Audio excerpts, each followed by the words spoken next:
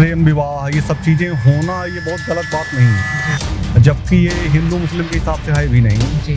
हर समय उचित नहीं है। और ऐसा भी नहीं कि कई मामलों में ऐसा होता है कि शायद जो ये मुस्लिम लड़के ऐसा करते हैं कि लड़कियों से हिंदू लड़कियों को वो अपने प्रेम जाल में फंसाते हैं। जैसा ये लिविंग वाल चल रहा है ये चले लेकिन अपन को इसमें कोई वो नहीं है। लेकिन भारतीय संस्कृति के अंदर चले। दंड के अपराधी है उसको न्याय संभालेगा देखेगा। दंडित करेगा। जहाँ लाभ होता है वहाँ जिहाद नहीं हो सकता। जहाँ जिहाद होता है वहाँ लाभ नहीं हो सकता। हिंदू वह है जो पापों का तिरस्कार करता है। हमारे देश में जो न्याय की प्रक्रिया है वह बहुत विलम्ब से मिलती है। और मिलती भी है तो उसमें उसको सहानुभूति दे दी जाती है। बहुत ही लेट इसमें उनको तूल मिल जाता है कि हम ऐसा करेंगे कुछ दिन बाद हम बरी हो जाएँगे। और फिर से वो ऐसा कृत्य कर देते हैं। बल्कि इस विषय महात्मा गांधी जी ने कहा था कि ऐसे में तो हमारा पूरा विश्व हाथ कट जाएगा पूरे देश का। कोई धर्म यह नहीं बताता है कि आप अपराध करिए गलत कार्य करिए चोरी करिए। नमस्कार मैं हूँ अनुपम अनूप आप देख रहे हैं द खबरदार न्यूज़। इस वक्त हम पुरुष छात्रावास रानी दुर्गावती विश्वविद्यालय के सामने हैं और यहाँ पर हमारे साथ कुछ छात्र हैं। जिनसे हम वर्तमान की तात्कालिक समस्याओं और तात्कालिक मुद्दों को लेकर के चर्चा करने वाले तो आप सभी छात्रों का मैं द खबरदार न्यूज़ की तरफ़ से हार्दिक स्वागत करता हूँ। आज हम कुछ जो वर्तमान समय के अहम मुद्दे हैं, उन मुद्दों को लेकर के चर्चा करने वाले हैं। जैसे वर्तमान समय में अभी पिछले दिनों की एक महत्वपूर्ण घटना है, श्रद्धा मर्डर केस। कि एक मुंबई की लड़की है, श्रद्धा जिसका अफेयर होता है बम्बल ऐप के द्वारा आफ्ताब पूनावाला से। उसके बाद परिवार की असहमति के कारण वो परिवार छोड़ कर के दिल्ली आते हैं महरोली में और महरो, महरौली में लिव इन पे रहना शुरू करते हैं। लेकिन लास्ट 19 मई के दिन किसी झगड़े की वजह से आफ्ताब पूनावाला श्रद्धा वारकर की हत्या कर देता है और 19 तारीख को फ्रिज खरीदता है और उसमें लाश के 35 टुकड़े करके फ्रिज में रख देता है। बाद में महरोली के जंगलों में उसको फेंका जाता है। छः महीने के बाद लगभग जब पिता अपनी बेटी के लिए रिपोर्ट दर्ज कराते हैं तो ये सारा मामला सामने खुल के आता है। तो इस घटना को लेकर के क्या कहना चाहेंगे आप? मैं छात्र प्रमुख सोमदत्त। ये जो घटना हुई इसे लव जिहाद जो कहते हैं ये प्रेम विवाह ये सब चीज़ें होना ये बहुत गलत बात नहीं है। ये देश दुनिया की नज़रों में सही बात है। हम लोगों के द्वारा जो बताया जा रहा हमें भी लगता है कि सही है। पर जो ये टुकड़ों में काटना और उसे रखना ये गलत है। इसमें हिंदू मुस्लिम दंगे को उत्पन्न हम लोग नहीं करना चाहते जबकि ये हिंदू मुस्लिम के हिसाब से है भी नहीं। जी। ये आपस में हुए पता नहीं कैसी अनमन हुई। जी। पर इस टाइप से उसे निर्दयी तरीके से किसी को काट के रखना ये बहुत गलत है। ऐसा नहीं होना चाहिए उसे दंड ज़रूर मिलना चाहिए। यदि जिस प्रकार से वो निर्दयी तरीके से किसी को काट के रखना नई फ्रिज मंगाना ये बहुत ही गलत है। उसे दंड ज़रूर मिलना चाहिए। बकाया ये लव जिहाद और ये सब परंपराएँ जो हैं ये इतनी गलत नहीं है क्योंकि आजकल नई पीढ़ियाँ जो हैं लव जिहाद प्रेम विवाह में ही ज़्यादा विश्वास रखती हैं। घर घर ही घर परंपराओं के अनुसार भी शादी ब्याह करना बहुत अच्छी बात है। पर लव जिहाद जो है ये भी वर्तमान लड़कों के लिए बहुत ही अच्छी बात है कि अपने मनपसंद जो पार्टनर अपने होते हैं वो आगे चलने के लिए और जीवन भर उन्हें ही रखना है। यदि उनके अनुरूप नहीं होंगे अनुरूप नहीं होंगे तो कैसे रख पाएँगे? चलाना तो उनको है। माँ बाप तो शादी करने के बाद बूढ़े हो जाते हैं। अब बच्चों को ही देखना होता है ये सब चीज़ें। इसलिए प्रेम विवाह करना कोई गलत परंपरा नहीं मानी जाएगी। लेकिन कहीं ना कहीं जब अंतर धार्मिक विवाहों को अंतर धार्मिक संबंधों को लव जिहाद जैसा नाम दिया जाता है जो कहीं ना कहीं आतंकवाद से प्रेरित है। तो इस बारे में आपका क्या मानना है कि ये शब्द उचित है क्या? जो यूज़ किया जाता है लव जिहाद। मेरा नाम इंद्रेश कुमार वर्मा है। मैं B L L fourth sem fourth year से हूँ। जो लव जिहाद जैसे शब्द हैं, हर समय उचित नहीं है। और ऐसा भी नहीं कि कई मामलों में ऐसा होता है कि शायद जो ये मुस्लिम लड़के ऐसा करते हैं कि लड़कियों से, हिंदू लड़कियों को वो अपने प्रेम जाल में फंसाते हैं। और उसके बाद धर्म परिवर्तन का वो जो उनका मुद्दा रहता है वो करवाते हैं। हाल ही में कुछ हमने देखा था वो कहीं पढ़ा था। जी। इसमें एक लड़की को वो छत से फेंक देता है वो उससे बोलता है कि आप धर्म परिवर्तन करो। उस तो कहीं ना कहीं ये मुद्दे तो उठते हैं लेकिन हमेशा नहीं। लव जिहाद जैसे शब्द हमेशा प्रयोग नहीं कर सकते। लेकिन कई मुद्दों में तो ऐसा होता भी है। कुल मिलाकर के जो सुनियोजित तरीके से ऐसे प्रेम विवाह होते हैं जिसमें धर्म परिवर्तन ही एकमात्र उद्देश्य होता है तो उसके लिए ये प्रयोग किया जा सकता है लेकिन जो ऐसी दुर्दांत घटनाएँ होती हैं तो उसको आरोपी की नज़रिए से देखना ज़्यादा बेहतर होगा। यही कहना चाहते हैं। यही कहना चाहते हैं। और जो लिव इन का चलन बढ़ रहा है आप लोग भी छात्र हैं और एक प्रोग्रेसिव सोसाइटी की ओर दुनिया बढ़ रही है हिंदुस्तान में भी ये प्रोग्रेसिव सोसाइटी की बात चल रही है। तो विवाह पूर्व लिव इन साथ में रहने की जो परंपरा जन्म ले रही है इस परंपरा को आप किस नज़रिए से देखते हैं? मेरा नाम अंकित कुशवाहा मैं सेकेंड ईयर का हूँ। जैसा ये लिविंग वाल चल रहा है ये चले लेकिन अपन को इसमें कोई वो नहीं है। लेकिन भारतीय संस्कृति के अंदर चले। जी तो भारतीय संस्कृति के अंदर तो विवाह के बाद ही एक साथ रह सकते हैं। अब लिव इन भारतीय संस्कृति का हिस्सा कैसे बनाएँगे आप? जो वेस्टर्न कल्चर है उसको मत अपनाएँ। है साथ में आप रहिए परिचय अपना आदान प्रदान प्रदान कीजिए। वो है लेकिन जैसा वेस्टर्न कल्चर अपना रहे हैं युवा पीढ़ी वैसा नहीं करना चाहिए। अपने हिसाब से देखना चाहिए कि हम लोग कैसे एक दूसरे को समझ लें बस इतना चलना चाहिए। ऐसा नहीं कि वेस्टर्न कल्चर पूरा अपना लो तो देखें कि वेस्टर्न पूरा कल्चर जा रहा है युवा पीढ़ी पूरी वहीं जा रही है भारतीय संस्कृति भूल रहे हैं। भारतीय संस्कृति ये कहती आप परिचय कीजिए एक दूसरे से।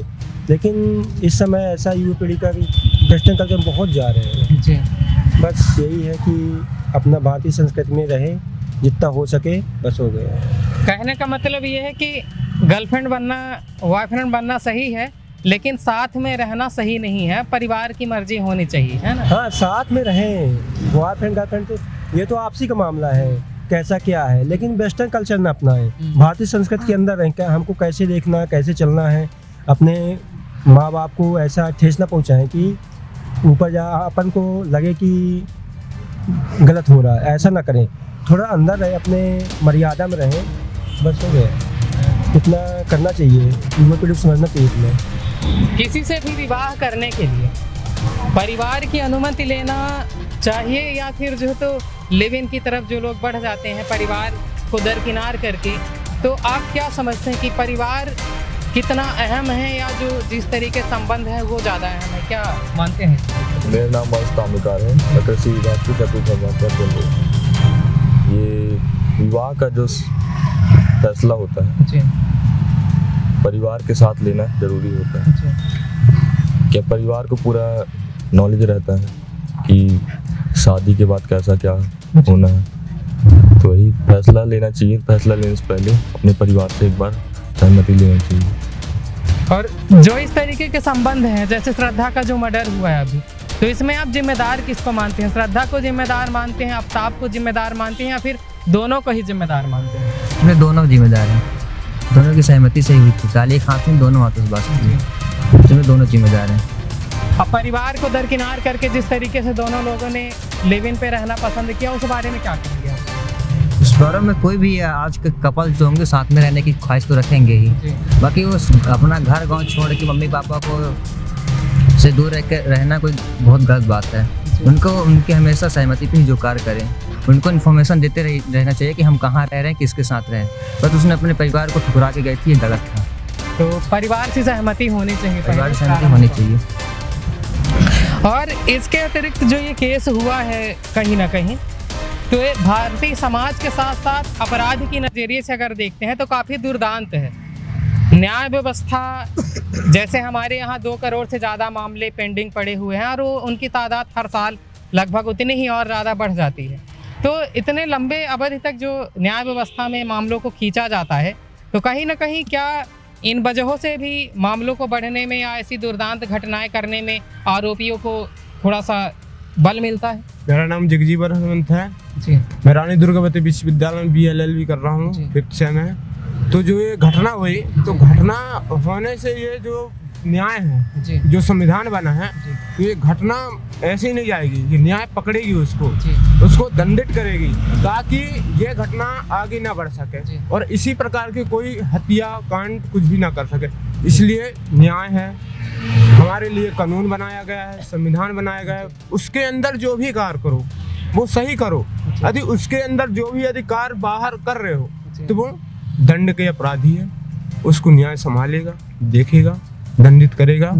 और जो अभी घटना हुई है पूरी तरह से वो दंडित लायक क्या सजा होनी चाहिए आफ्ताब को इस घटना में? आपके अनुसार आपके विचार में मेरा नाम सीताराम ठाकुर है मैं। मैं राजेंद्र गौती कृषि राजेंद्र गौवती विश्वविद्यालय कृषि विभाग द्वितीय अर्धांश का छात्र हूँ। ये जो शर्मनाक घटना हुई है इसमें मैं सिर्फ़ इतना कहना चाहूँगा कि जो न्याय जो न्याय है जो कानून अपना एक तरफ़ कानून रहता है और एक तरफ़ फैमिली रहती है और जो जिसका पल्ला भारी रहता है उसी की तरफ़ से जाना चाहिए। और जैसा हाईकोर्ट अपना उच्चतम न्यायालय जो दंडित करेगा वैसे जाना चाहिए। तो जो भी कानून सजा दे तो वो स- ये कानून बेहतर जो है तो चुनाव कर सकता है सजा का उस बारे में आप कुछ नहीं कहना चाहते। जी। लव जिहाद को लेकर के आप क्या सोचते हैं मेरे हिसाब से मैं Raju Khan M H C student Rani Durgavati का। लाभ जहाद मेरे ख्याल से लाभ जहाद ऐसा नहीं होता जो लड़की और लड़का दोनों सहमत है तो भी ये लाभ होता है। तो लाभ के हिसाब से लाभ के साथ जिहाद क्यों जोड़ देते हैं। ये मेरा प्रॉब्लम है। जहाँ लाभ होता है वहाँ जिहाद नहीं हो सकता जहाँ जिहाद होता है वहाँ लाभ नहीं हो सकता। मेरे ख्याल से। तो ये सिर्फ़ जो है तो इसको क्या मानते हैं? राजनीतिक मुहिम है या फिर जो है तो ऐसी चीज़ें कुछ अपराधी तो अपराधी है। जो कोई भी धर्म का हो वो अपराधी है। उसको सजा मिलना चाहिए। वो हिंदू हो मुस्लिम हो जैन हो क्रिस्तान हो जो भी है उसको सजा मिलना ही चाहिए। ये हम सहमत है जो उसको सजा मिलना ही चाहिए। ज़रूर। ऐसा सजा जो कोई भी ऐसा काम करने के लिए कभी सोच भी नहीं सके। लेकिन किसी भी जात किसी भी आरोपी की पहले जाति आगे करना या धर्म आगे करना ये कहाँ तक आप सही मानते हैं या फिर ये गलत है? आरोपी सिर्फ़ आरोपी है। क्या कहते हैं आप? मैं तन्मय द्विवेदी रीवा से हूँ बी एल कर रहा हूँ। जैसा कि आपने मेरे से पूछा अपराधी की कोई जाति नहीं हो सकती। यदि वह अपराध कर रहा है तो वह केवल अपराधी है। क्योंकि कोई भी धर्म या संप्रदाय अपराध के ही खिलाफ होता है। जैसे हमारे मैं हिंदू हूँ। हिंदू वह है जो पापों का तिरस्कार करता है। हिंदू में अपराध बहुत ही दंडनीय नज़रिया होता है। मेरा मत यह है कि उस लड़के ने जैसा किया उसी प्रकार का कृत्य उसके साथ किया जाना चाहिए। हमारे देश में जो न्याय की प्रक्रिया है वह बहुत विलंब से मिलती है। और मिलती भी है तो उसमें उसको सहानुभूति दे दी जाती है। निर्भया जैसा दुर्दांत कांड हुआ उसके कितने वर्षों के बाद आरोपियों को सजा दी गई।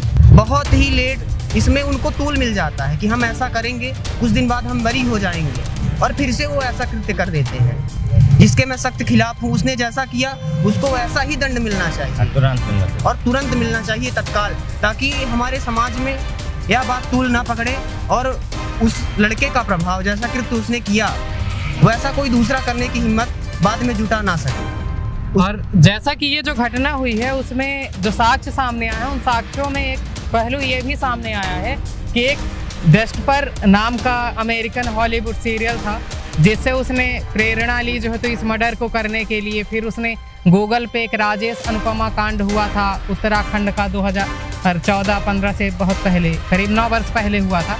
तो उससे भी उसने वो किया उसमें जो आरोपी था सत्तर टुकड़ों में महिला को काटा था तो उससे भी प्रेरणा ली। तो कहीं ना कहीं इस बारे में क्या आप कहेंगे? देखिए प्रेरणा गलत कामों बस की तो ली नहीं जा सकती। जी। वो सही काम की भी प्रेरणा ले सकता था। बिल्कुल। पर उसकी मानसिकता जो थी जी। वह कहीं ना कहीं गंदी थी। जी। तो इसलिए उसने गलत चीज़ को एक्सेप्ट किया और देखा। तो मेरा मानना यही है कि उसको जल्द से जल्द उसी प्रकार का दंड दिया जाए जिस प्रकार से उसने कृत्य किया है। ताकि हमारे मैंने जैसे पूर्व में बता चुका हूँ कि मेरे समाज में ये चीज़ बहुत तीव्रता से फैल रही है। तो इसको इस इस विषय को रोकने के लिए यही कारण है कि जैसा कृत्य उसने किया है सेम उसी प्रकार का कृत्य उसके साथ किया जाए। बल्कि इस विषय महात्मा गांधी जी ने कहा था कि ऐसे में तो हमारा पूरा विश्व हाथ कट जाएगा पूरे देश का। एक कानून था कि मतलब जैसा कृत्य उसने किया है चोरी किया तो उसके घर में भी चोरी कर दी जाए हाथ काट दिया तो उसका हाथ काट दिया जाए। हत्या उन्हें- के बदले हतला बिल्कुल हत्या। बिल्कुल। तो गांधी जी ने बोला था कि ऐसे में तो पूरे देश का हाथ कट जाएगा। तो आपने हाथ कटने से तो बचाया पर कानून को तो अंधा ही बना दिया। अंधा बना दिया कानून को। केवल सुनता है और फिर बोलता है देखता नहीं है। देखता नहीं है। तो आप देखिए भी और फिर निर्णय कीजिए तत्काल निर्णय कीजिए ताकि हमारे समाज में जो ऐसे लोग अपनी दहशत बना रहे हैं और नए नए रूप में नए नए चेहरे और नए नए विधियाँ बताइए नए-नए तरीके इजाद किए जा रहे हैं। और उस बात को राजनीतिक हिसाब से जोड़ना या धर्म संप्रदाय से जोड़ना उचित नहीं है क्योंकि मैं बता चुका हूँ कि कोई धर्म यह नहीं बताता है कि आप अपराध करिए गलत कार्य करिए चोरी करिए। तो मेरा मत यही है कि उसने जो कृत्य किया उसी रूप में उसे और तुरंत सजा दी जानी चाहिए। किसी भी ऐसे कृत्य को धर्म के चश्मे से क्यों जोड़ दिया जाता है धर्म के नज़रिए से क्यों जोड़ा जाता है आखिर इसके पीछे का क्या कारण है क्या मानते हैं आप? मैं सोचता हूँ वो तो पॉलिटिकल इशू है बिल्कुल बिल्कुल मेन मेन मुद्दा पॉलिटिकल ही है आजकल जो धर्म के अंदर धर्म के लिए राजनीति कर, कर रहा है वो नहीं होना चाहिए और वो हमारा भारत के लिए बहुत नुकसान होगा धर्म के राजनीति छोड़ छोड़ के हम कर्म के राजनीति जब उन्नयन के राजनीति करेंगे उन्नति के राजनीति करेंगे तब तो हमारा देश आगे बढ़ेगा तो धर्म सिर्फ़ एक पॉलिटिकल इशू के तौर पर सामने लाया जाता है। ताकि तूल मिल सके किसी मुद्दे को उस पर वोट बैंक की राजनीतियाँ राजनीति की जा सके। तो ये चीज़ आप लोग कह रहे हैं और एक कहीं ना कहीं एक प्रभावी बात भी आप लोग कह रहे हैं। आप लोगों में से कई सारे लोग ऐसे भी हैं जो एलएलबी कर रहे हैं। आपने भी एलएलबी किया हुआ है। जो भारतीय न्याय व्यवस्था है वहाँ पर जो अपराधियों के प्रति इतना लचीलापन बरता जाता है कि कई बार तो ऐसे केस सामने आते हैं कि किसी ने किसी की हत्या की और फिर तब तक सजा होती है जब वो स्वयं ही स्वमृत्यु हो जाता है। तो मरने के बाद सजा दी जाती है कुछ लोगों को। तो इसके बारे में क्या कहना चाहेंगे और कारण क्या है इसके पीछे का मूल कारण? पहली बात तो संविधान अपना संविधान ही लचीला है। जी। इसमें जो है तो सजा जो दी जाती है जी। अपने इतने भारत देश में इतने केस निलंबित हैं जो इतने लेट चल रहे हैं उनकी ना केस लगता और दिन पर दिन और लेट होते जा रहे हैं। नए केस आते हैं पुराने केस सॉल्व नहीं हो पाते इससे केस बढ़ते जाते हैं। इसलिए अब केस नए केसों को जब पुराने केस पहले होंगे उसके बाद नए केसों का नंबर आएगा। इसलिए दिन पर दिन लेट होता जा रहा है। लचीली कानून व्यवस्था होने के उपरांत ये सब इतना विलम्ब और सही न्याय नहीं मिल पा रहा है लोगों को। और ऐसे केसेस के लिए फास्ट ट्रैक कोर्ट होने चाहिए। कितने दिनों में लगभग फैसला होना चाहिए? इस चीज़ को लेकर के आप क्या कहेंगे? इस चीज़ को देखिए, कोर्ट, वैसे भी बर्डन तो काफ़ी ज़्यादा कोर्ट पे है तो इसमें ऐसी कोई व्यवस्था या मीडिएटर टाइप कोई व्यवस्था हो सकती तो सही है। बाकी इसके बारे में मैं ज़्यादा कुछ तो जैसे कुछ फास्ट ट्रैक कोर्ट बनाए जाने चाहिए, जिसमें ऐसे मामलों का 21 दिन में, इक्यावन दिन में तेलंगाना में एक प्रियंका केस हुआ था आज से दो तीन वर्ष पहले। तो उस केस में ये कहा गया था कि अब 21 दिन के अंदर ही जो बलात्कार से जुड़े हुए केसेस होंगे, जो दुर्दांत अपराधी होंगे, उनको 21 दिन के अंदर ट्रायल करा करके जो भी सज़ा होगी तो उसको फाइनलाइज किया जाएगा। तो ये जो बातें कही जाती हैं, कई बार वो सिर्फ़ किताबी पन्नों में रह जाती हैं, कानून के पन्नों में रह जाती हैं तो उसको हकीकत में तब्दील क्यों किया नहीं जाता? और हकीकत में तब्दील करने से क्या परिवर्तन आ सकता है? जो ये दुष्कृतपूर्ण केस होते हैं जो आपराधिक प्रकरण जो खतरनाक तरीके से होते हैं इनमें जल्द से जल्द जल्दी सुनवाई करने का अवसर देना चाहिए। कोर्ट को ऐसी कानून व्यवस्था बनानी चाहिए जिससे जो बहुत बड़े घृणित अपराध हैं घृणित घृणित अपराध के अंतर्गत आते हैं और खतरनाक अपराधों की श्रेणी में आते हैं जैसे तीन सौ छिहत्तर हो गए तीन सौ छिहत्तर ए बी सी डी और इसके इसके सिवाय जो है तीन सौ दो तीन सौ सात। ऐसे हत्याओं में जो है जो जो ऐसे केस होते हैं और राजद्रोह धारा एक सौ चौबीस ए और देश देशद्रोह जिसे बोलते हैं राजद्रोह के अंतर्गत ये आता है। ऐसे केसों को जल्द सुनवाई का अवसर देना चाहिए। इससे ऐसी इससे यह प्रक्रिया सही सुचारू से बन बन पाएगी यहाँ पर कि जल्दी सुनवाई होने पर जो अपराधी हैं वो ऐसा कर्म कार्य करने से दोबारा डरेंगे और जल्द उन्हें सजा मिलनी चाहिए। सजा मिलेगी तो दोबारा ऐसा अपराध जल्दी नहीं करेंगे। घटित नहीं होगा और न्याय भी मिल जाएगा व्यक्तियों को। और जो नॉर्मल अपराध हैं उनको लेट कर दें उससे दिक्कत नहीं होगी। और जो कट कठोर अपराध हैं उनको जल्दी सुनवाई करके सजा दे चाहिए